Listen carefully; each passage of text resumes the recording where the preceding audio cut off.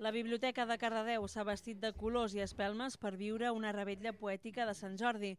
L'espai on dormen els llibres durant totes les nits de l'any va obrir les seves portes perquè l'escriptura fos la protagonista d'una celebració de la Diada que s'avançava unes hores.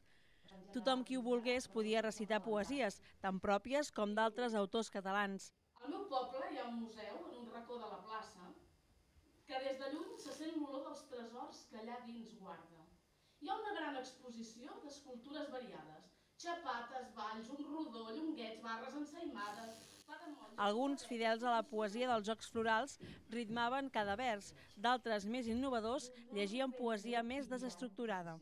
I el que ha estat bé, trobo, que és que hi hagi hagut una diversitat eh, forta, important, que sigui allò que es diu ara aquesta de moda transversal, perquè a vegades el problema de la poesia és que s'ajunten tendències molt igualitàries a tot arreu i que es faci un recital obert on tothom hi pugui participar, doncs està molt bé, trobo que està, és fantàstic, està molt bé. La rebetlla poètica va mostrar una combinació de maneres d'escriure, de temàtiques i també de maneres d'amagatzemar les paraules.